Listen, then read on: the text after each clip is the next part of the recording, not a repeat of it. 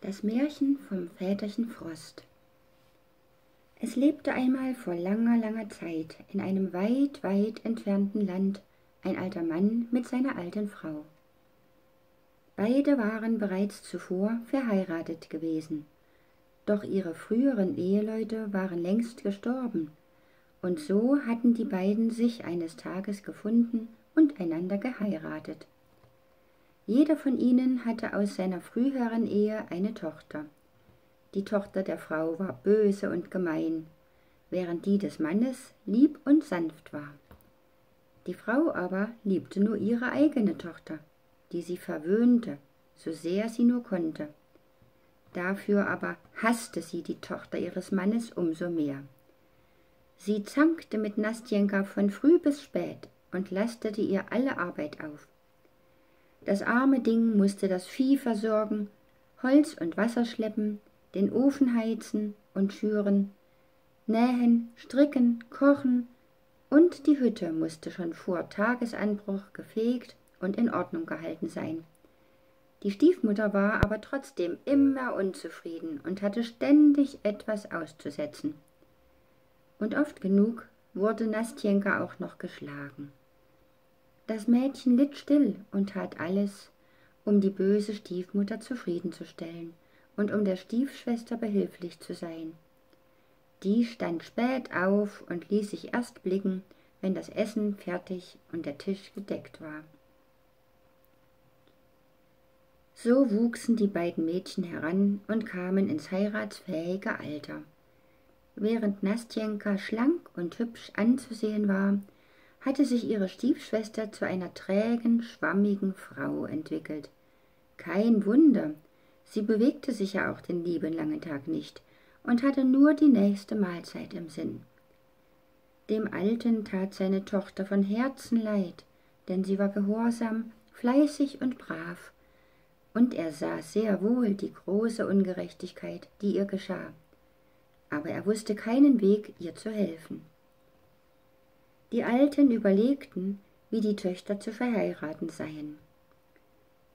Nastinka ist die Ältere, also muss sie zuerst unter die Haube. Dann erst sollten wir uns über meine Tochter Gedanken machen, sagte die Frau. Eines Tages, mitten in einem harten, kalten Winter, sagte die Stiefmutter Alter, morgen stehst du früh auf, spannst das Pferd vor den Schlitten und fährst mit Nastjenka auf Besuch. Und du, Nastjenka, pack dein Hab und Gut in einen Korb und ziehe dich fein an, damit du dem Bräutigam gefällst. Das Mädchen war froh über sein Glück, stand am nächsten Morgen zeitig auf und hatte sich derart schön geschmückt, wie man noch kein Bräutchen gesehen hatte. Setzt euch und frühstückt noch, sagte die Alte und brachte dünne Suppe und einen Kanten Brot. Als sie fertig waren, sagte die Stiefmutter So, nun bin ich froh, dass du endlich aus dem Haus gehst. Ich musste dich lange genug ertragen. Und du, du alter Narr, du fährst geradezu den Weg hinunter in den Wald hinein, zu der großen Fichte, die auf dem Hügel steht. Dort übergibst du deine Tochter dem Frost. Der Alte war entsetzt, und Nastjenka fing an, bitterlich zu weinen und obwohl der Vater versuchte, seine Frau von dem schlimmen Vorhaben abzubringen, es gelang nicht. Aus Angst vor seinem boshaften und herrischen Weib brachte er seine Tochter letztendlich doch in den Wald und ließ sie dort, wenn auch schweren Herzens, mutterseelenallein im Schneegestöber zurück. Setze dich hierher und empfange deinen Bräutigam nur recht freundlich, dann wandte er den Pferdeschlitten und fuhr nach Hause.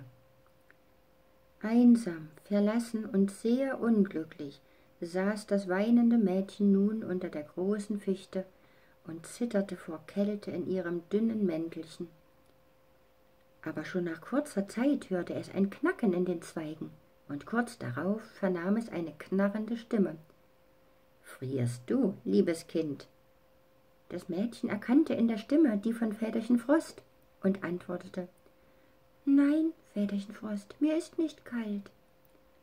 Da ließ sich der Frost noch tiefer hinab und pfiff noch eisiger als zuvor. Nun, mein schönes Kind, sag, frierst du nicht? Nastjenka verging fast der Atem vor Kälte. Dennoch antwortete sie, ich friere nicht, mir ist warm, Väterchen Frost. Da knirschte der Frost noch stärker und pfiff noch mehr. Frierst du, liebes Kind, frierst du bis ins Herz hinein? Nastjenka war schon ganz starr vor Kälte und bekam kaum noch die Zähne auseinander, aber sie sagte, wenn auch kaum hörbar, mir ist nicht kalt. Da hatte der Frost Mitleid, und das arme Kind dauerte ihn so sehr, dass er es in einen weichen, prächtigen Pelzmantel und dazu noch in Felldecken wickelte und es die ganze Nacht wärmte.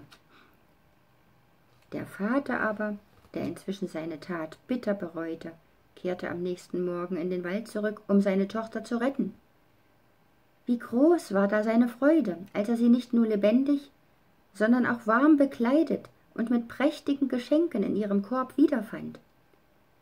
Der Alte legte die Pelze und Felle sowie die Geschenke in den Schlitten und fuhr mit seiner Tochter nach Hause.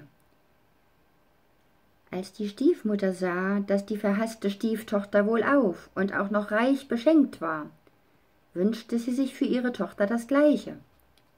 Also sprach sie zu ihrem Mann, Führe meine Tochter zu ihrem Bräutigam, dem Väterchen Frost.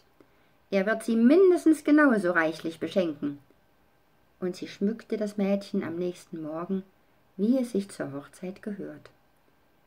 Der alte Mann fuhr denselben Weg in den Wald, und ließ das Mädchen unter derselben Fichte zurück. Und obwohl es einen dicken Pelz trug, fror es gewaltig. Dennoch spottete es. Na, wo bleibt er denn, der Herr Bräutigam? Ist er wohl schon etwas morsch in die Knochen? Schon nahte der Frost. Mit knarrenden Sprüngen sprang er von Baum zu Baum und pfiff gewaltig durch die Äste. Letztendlich ließ er sich auf der Fichte nieder und fragte Frierst du, Mädchen? Darauf antwortete die Tochter Inbusch. Geh zum Teufel. Was ist denn das für eine dumme Frage? Die Hände und die Füße sind mir ja schon erfroren. Da kam der Frost noch näher und pfiff noch gewaltiger. Frierst du, Mädchen? Bist du blind?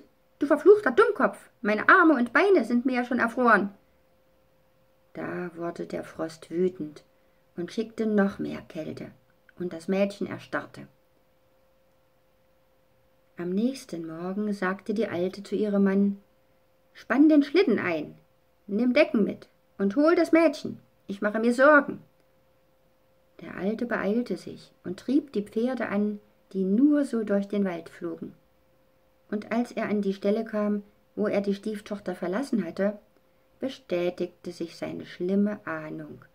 Sie war tot nicht beladen mit Reichtum, sondern kalt gefroren war der Leib des Mädchens. Entsetzt brachte er den Leichnam heim zu seiner habgierigen Frau, nahm seine eigene Tochter bei der Hand und zog mit ihr für immer fort. Und wenn er und das gute Mädchen nicht gestorben sind, so leben sie noch heute.